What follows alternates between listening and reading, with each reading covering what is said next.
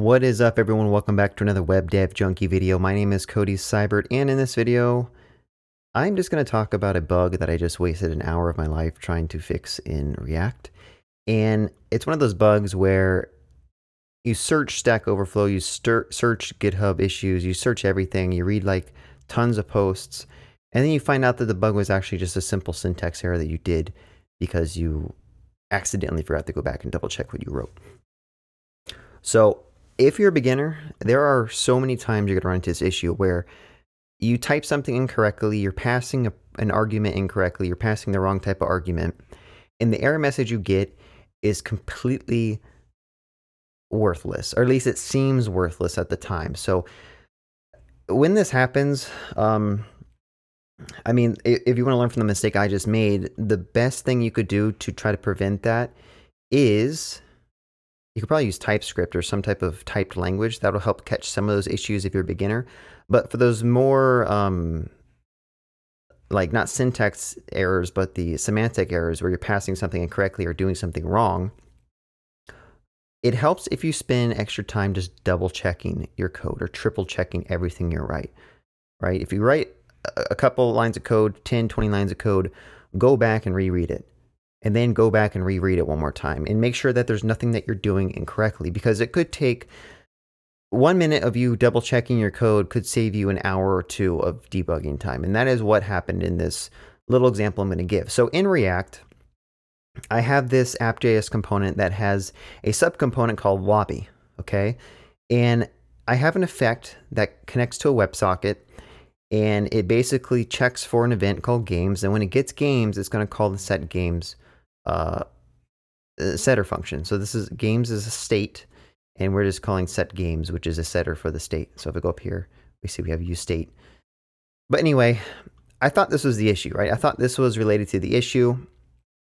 Um, but it wasn't. I spent like so much time looking into this because whenever I comment this out, everything works fine. Like if I save this, the error goes away and everything works. So I thought the issue was with this use effect stuff, but it turns out the issue is unrelated to that. So if I add that back, let me show you what the error is down here.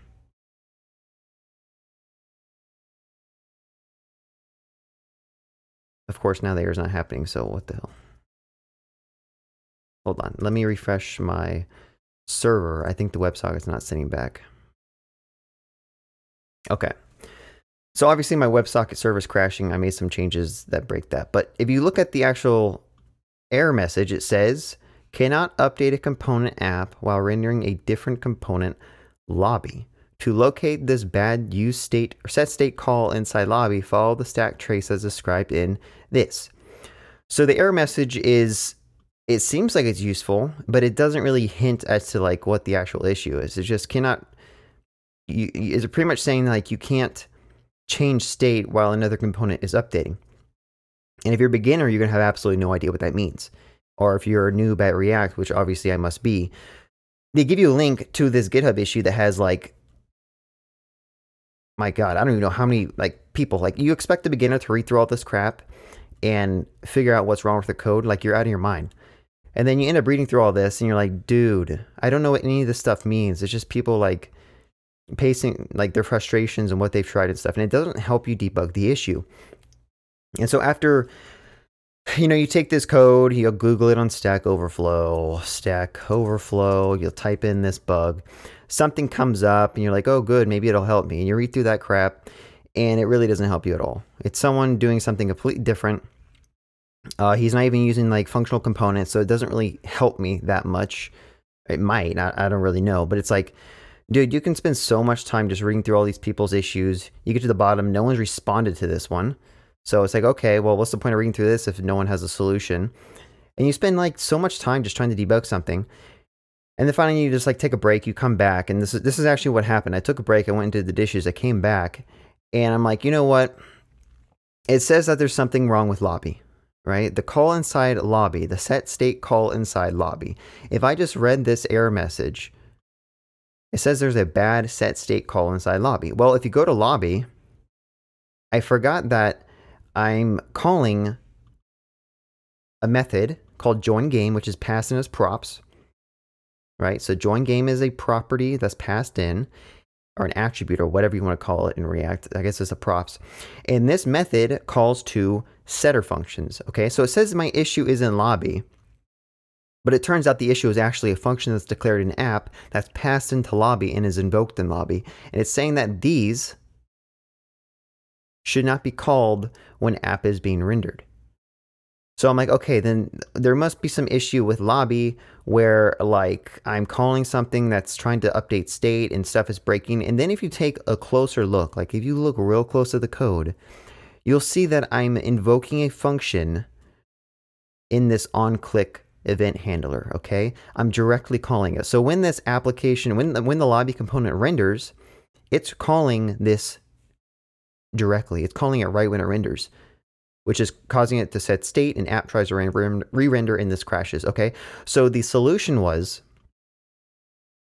put that in a fat arrow, put that in an, uh, an anonymous function call or whatever, and the error was resolved. So it's like, dude, I spent an hour plus trying to debug this issue, and the issue was something so simple that if I just spent like five extra minutes reading through my code, or maybe there's a linter that could have told me, hey, make sure you always use fat arrows when you're calling callback listeners, okay? Like there's probably ways I could have mitigate this, but ultimately, if you if you look at this as a beginner, if you run into issues like this, like I'm experienced in terms of a developer, I'm pretty experienced. So it took me an hour to debug this issue. If you imagine a beginner running into a bug like this, they could probably spend an entire day or a week trying to debug this or they might just give up. And I think that's probably what happens a lot is you hit a brick wall, you hit a bug, you have absolutely no idea how to fix it. You you don't even know how to Google for fixing bugs because you're a beginner. And then you're like, dude, programming is too hard. And the fact is programming is hard, especially when these libraries and frameworks that people like treat like the holy grail give you really esoteric error messages that don't really help. Like I think React could have done a better job at explaining more of what happened. Like it could have just said, you're calling a setter function directly inside one of your functional components. Or I, I don't know. I feel like there there could have been something instead of linking to a, a issues report that has like hundreds of posts on it. like there could have been something more uh, descriptive to help the user debug what the issue is. And maybe that's just my lack of understanding of how React works. Maybe it's hard for them to know what the actual issue is.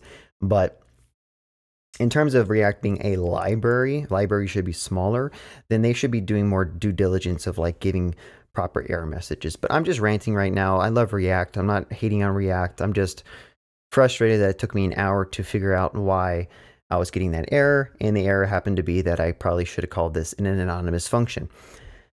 So, for all you people out there struggling with web development, struggling with programming, just know that this is normal. Like, no matter how experienced you are, there's going to be times where you type something wrong and you spend 30 minutes or an hour or a day trying to debug it, and you realize that you might have just you're passing an integer when you should have passed in a float or you're doing something strange, you're passing in a string that when you should have like, I don't, I don't know. There's so many different things you could screw up in programming, and it becomes very frustrating uh, time and time where you keep hitting bugs. So just stay positive, keep pushing through these bugs. Um, once you see the bug and you spend a day trying to debug it, I guarantee you, you will never get caught up on that bug again. Like if I see that error message again, I'm going to know what the issue is. I'm going to be like, okay, well, I probably forgot to do this probably forgot to do an anonymous function. It's probably directly invoking a setter function inside a subcomponent and causing an issue, right?